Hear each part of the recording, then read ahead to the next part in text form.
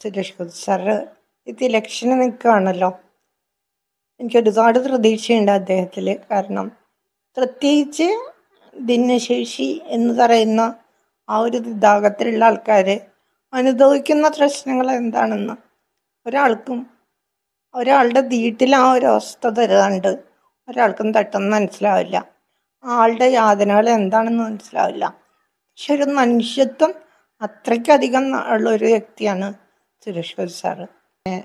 സുരേഷ് ഗോപി സാറിനെ എനിക്കൊന്ന് കാണാനായിട്ട് ഇതെല്ലാം വഴിയുണ്ടോ? അങ്ങനെ എന്തെങ്കിലും ചെയ്യാൻ പറ്റുമോ എന്ന് ചോദിച്ചു. അപ്പം പറഞ്ഞു ക്രിസ്മസിന്റെ തലേദിവസമായിരുന്നു തലേന്റെ തലേദിവസമായിരുന്നു അപ്പം അന്നൊരു കേക്കൊക്കെ ആയിട്ടാണ് തന്നെ താങ്കൾ പറഞ്ഞു നീ വരാൻ തിന്നിട്ടാണെന്നറിയാം എന്നാലും ഒന്ന് ആംബുലൻസ് ഞാൻ ഇടാം നീ ഒന്ന് വന്ന് നോക്കുമെന്ന് പറഞ്ഞു. അസുഖങ്ങളുടെ ചികിത്സയൊക്കെ എങ്ങനെയാണ് നടക്കണേന്ന് ചോദിച്ചു. സന്തോഷമാണോ? സങ്കടമാണോ? ആ സമയത്ത് എന്താണ് വികാരം എന്ന് എനിക്കറിയില്ല. കണ്ണിങ്ങനെ നിറഞ്ഞൊഴുകായിരുന്നു അപ്പോൾ ബുദ്ധിമുട്ടാണെന്ന് മാത്രം ഞാനിങ്ങനെ പറഞ്ഞു. അപ്പോൾ സാരമില്ല എല്ലാം ശരിയാവുമെന്ന് പറഞ്ഞ് തലയിൽ അതൊക്കെ ഒന്ന് തടവി. എന്നിട്ട് അത്ത തന്നെ പറഞ്ഞു തീയുടെ അടുത്ത് ലക്ഷ്മി എന്നുള്ള ട്രസ്റ്റിൽ നിന്ന് ഒരു ലക്ഷം രൂപ ആ കുട്ടിക്ക് കൊടുക്കണം. ഏവർക്കും വിനീത നമസ്കാരം. ഞാനെന്നുള്ളത് എറണാകുളം ജില്ലയിലെ പറവൂരിലെ വടക്കമ്പുറം എന്ന് പറയുന്ന ഒരു സ്ഥലത്താണ്. ഇവിടെ ഞാൻ വന്നിരിക്കുന്നത് ജൂലി മനോഹരൻ എന്ന് പറയുന്ന ഈ ഒരു ചേച്ചിയെ കാണാൻ വേണ്ടിയിട്ടാണ്. ചേച്ചി കുറേ വർഷങ്ങളായിട്ട് ശാരീരികമായിട്ട് ഒരുപാട് ബുദ്ധിമുട്ടുകൾ അനുഭവിക്കുന്ന ഒരു വ്യക്തിയാണ്.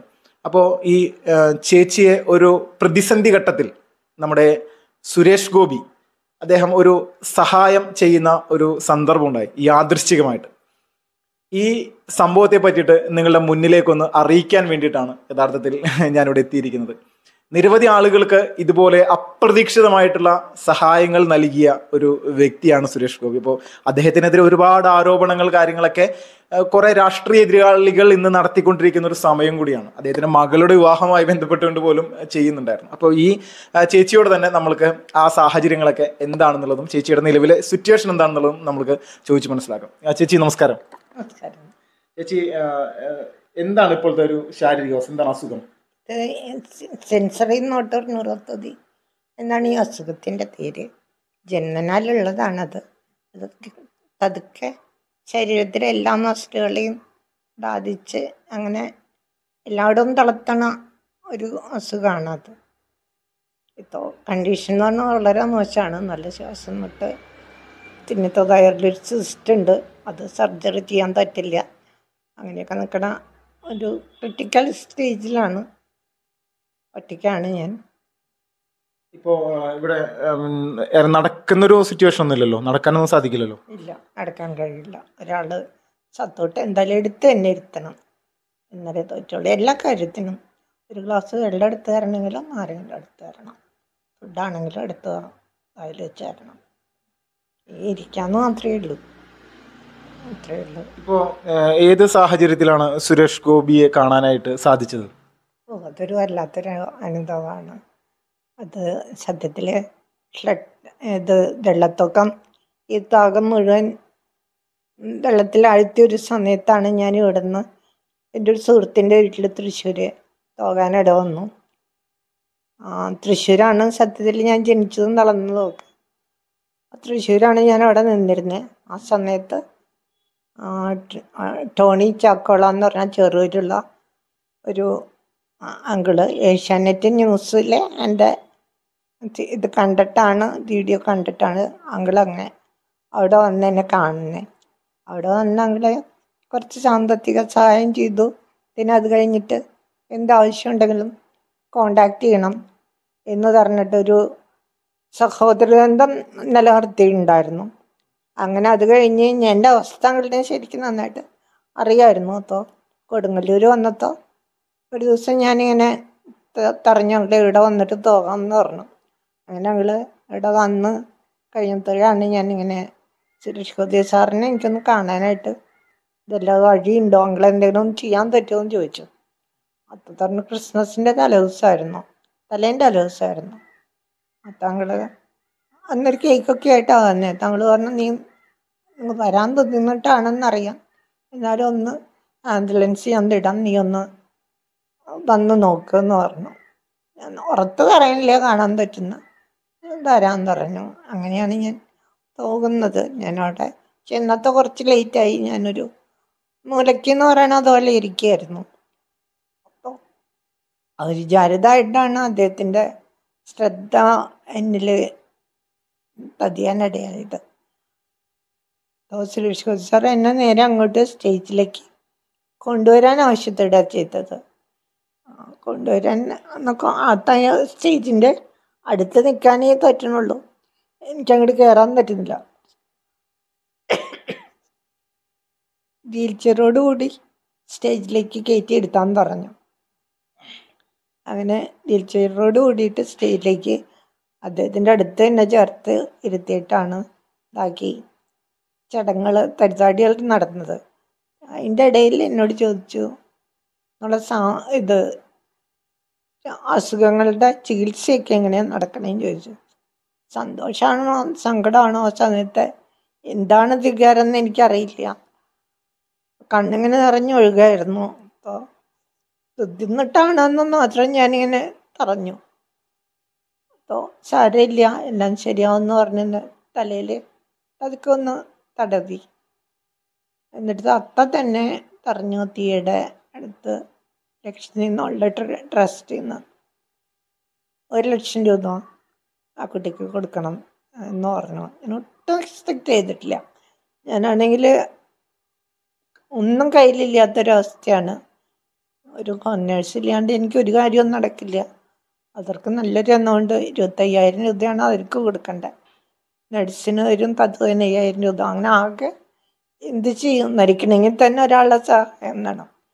ആ ഒരവസ്ഥയിലാണ് നിക്ക് നിന്നിരുന്നത് ആ സമയത്ത് ഇങ്ങനെ ഒരു സഹായം ഒരു താക്കുക എന്ന് പറഞ്ഞിട്ടുണ്ടെങ്കിൽ നമുക്ക് വല്ലാത്തൊരു അനുഗ്രഹമായിരുന്നു. അത് കഴിഞ്ഞ് ഒട്ടും ബുദ്ധിമുട്ടേണ്ടി വന്നില്ല. ഒരു ഒരു മാസത്തിനകത്ത് ആ എന്റെ അക്കൗണ്ടിൽ വന്നു.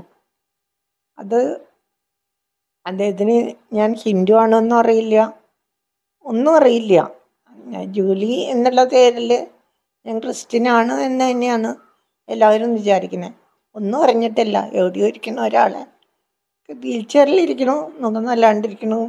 കണ്ടെത്തോ അത് സ്റ്റേജിലേക്ക് വിളിച്ച് ഒത്തം എക്സ് ഗവർണർ അങ്ങനെ എല്ലാ ഇമ്പോർട്ടന്റ് ആയിട്ടുള്ള ആൾക്കാരും ഉള്ള ആ സ്റ്റേജിലേക്ക് വിളിച്ച് കയറ്റി ഇരുത്താന്നൊക്കെ പറയുന്നത് ഞാൻ ഒട്ടും എക്സ്പെക്ട് ചെയ്യാത്തൊരു കാര്യമാണ്. അതിന് ഞങ്ങളും ഒരുപാട് സഹായിച്ചു.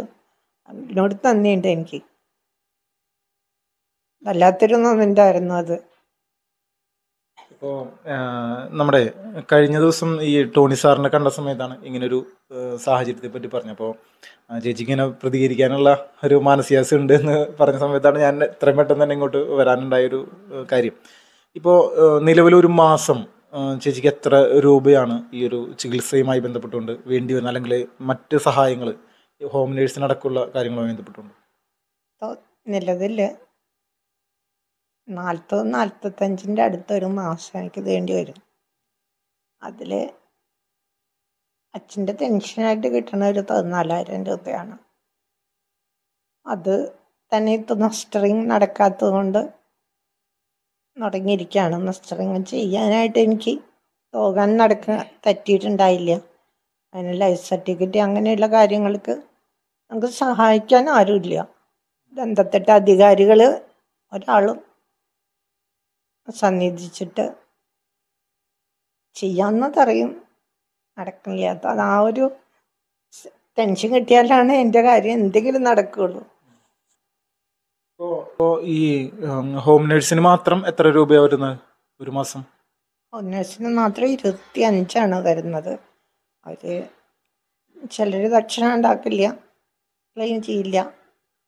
ഒന്നും ചെയ്യില്ല. അത് ക്ലീനിങ് ഇല്ലെങ്കിൽ എനിക്ക് ശ്വാസം തൊട്ട് കൂടും പക്ഷെ അത് പറഞ്ഞിട്ട് കാര്യമില്ല. നമ്മൾ അവരോട് പറയുമ്പോൾ നിങ്ങൾ വേറെ ആളെ നോക്കുന്നു പറയും. അപ്പം അതുകൊണ്ട് സഹിക്കാണ്. ഈ ഏഹ്, വീടിന്റെ ഈ ക്ലീനിങ് കാര്യങ്ങളൊക്കെ ആരാ ചെയ്യുക രണ്ടാഴ്ചയായി ക്ലീൻ ചെയ്തിട്ട്. ചേച്ചി വന്നാണ് ചെയ്തിരുന്നത്. അവർ എന്നുകൊണ്ട് കൂട്ടി കൂട്ടി ചോദിച്ചിട്ട് എനിക്ക് കൊടുക്കാൻ നിർത്തിയില്ല അപ്പോൾ ഒന്നും ചെയ്യാണ്ടാണ് ഇതൊക്കെ എടുക്കുന്നത്. അവർ എത്ര രൂപയാണോ അവർ പറഞ്ഞിരുന്നത്? അവർ ആറായിരം രൂപയാണ് പറഞ്ഞിരുന്നത്. അവർ അടിച്ചു തരാനും തുടയ്ക്കാനും ആഴ്ചയിൽ ഒരു ദിവസം തുടയ്ക്കാനുമാണ് ആ ഒരു എമൗണ്ട് പറഞ്ഞിരുന്നത്. പിന്നെയും കൂട്ടുന്നു നടക്കില്ല. അത് തന്നെ എനിക്ക് നടക്കണില്ല. അത് അതുപോലെ തന്നെ ഒന്ന് പറയാനുള്ളത് സുരേഷ് ഗോപി സാറ് ഇത് ഇലക്ഷന് നിൽക്കുകയാണല്ലോ എനിക്ക് ഒരുപാട് പ്രതീക്ഷയുണ്ട് അദ്ദേഹത്തിൽ കാരണം പ്രത്യേകിച്ച് ഭിന്നശേഷി എന്ന് പറയുന്ന ആ ഒരു വിഭാഗത്തിലുള്ള ആൾക്കാർ അനുഭവിക്കുന്ന പ്രശ്നങ്ങൾ എന്താണെന്ന് ഒരാൾക്കും ഒരാളുടെ വീട്ടിൽ ആ ഒരു അവസ്ഥ തരാണ്ട് ഒരാൾക്കും തട്ടെന്ന് മനസ്സിലാവില്ല. ആളുടെ യാതനകൾ എന്താണെന്ന് മനസ്സിലാവില്ല. പക്ഷെ ഒരു മനുഷ്യത്വം അത്രയ്ക്കധികം ഉള്ള ഒരു വ്യക്തിയാണ് സുരേഷ് സാറ്. നമ്മുടെ നമ്മുടെ നാട്ടിലെ രാഷ്ട്രീയക്കാർക്ക് പൊതുവെ കണ്ടിട്ടില്ലാത്ത പൊതുവെ വളരെ കുറച്ച് മാത്രം കാണപ്പെടുന്ന ഒരു സ്വഭാവവിശേഷമാണ് അത്. അത് സാറ് ജയിക്കുകയാണെങ്കിൽ ഈ നാടിന് തന്നെ വളരെയധികം ഗുണം ചെയ്യുന്നുള്ളതിന് ഒരു സംശയമില്ല നന്നട ആവശ്യമാണ് അദ്ദേഹം ജയിക്കുക എന്നുള്ളത്. അദ്ദേഹത്തിന്റെ അല്ല യഥാർത്ഥത്തിൽ നമ്മുടെ ഓരോരുത്തരുടെ ആവശ്യമാണ്. ഒരു വർഗീയതയല്ല. ഒരു വർഗീയതയുടെയും പുറത്ത് അദ്ദേഹത്തെ കാണരുതെന്ന് എന്റെ അപേക്ഷയാണ്. കാരണം എന്റെ തേര് മാത്രം കണ്ടിട്ട് ഹിന്ദു ആണോ ക്രിസ്ത്യൻ ആണോ എന്താണോ എന്ന് പോലും അറിയാണ്ടാണ് അദ്ദേഹം സഹായിച്ചത്. അത് വേറെ ജില്ലയിലുള്ള തന്നെ. അപ്പം അങ്ങനെയുള്ള ഒരു വ്യക്തി ഞാൻ നേരിട്ട് അറിഞ്ഞ സത്യമാണ് അത്. ഒരാളും പറഞ്ഞതല്ല അതൊരു വർഗീയതാതി എന്നുള്ള മുദ്രയെ മുദ്ര അദ്ദേഹത്തെ ചാർത്തി അവഹേളിക്കരുത് എന്നുള്ളത് എന്റെ അപേക്ഷയാണ്. ഒരു വർഗീയവാദത്തിലേക്കും ആയിരിക്കില്ല. അദ്ദേഹം ജയിച്ചാൽ കേരളം തോന്നുന്നത്. ഉറപ്പായിട്ടും കേരളത്തിന്റെ ഏറ്റവും നല്ല സുവർണകാലമായിരിക്കും എനിക്ക് ഉറപ്പുണ്ട് അത്. താങ്ക് യു എല്ലാവർക്കും ഒരിക്കൽ കൂടി നന്ദി പറയുകയാണ് ഈ ഒരു സമയത്ത്. സുരേഷ് ഗോപി ചേച്ചിയെ സഹായിച്ചതുപോലെ തന്നെ നമ്മൾക്കും ആ ഒരു ഉത്തരവാദിത്തമുണ്ട് എന്നുള്ള ഒരു കാര്യം ഇവിടെ ബോധ്യപ്പെടുത്തുകയാണ്. എല്ലാവർക്കും നന്ദി നമസ്കാരം. വന്ദേ മാതരം.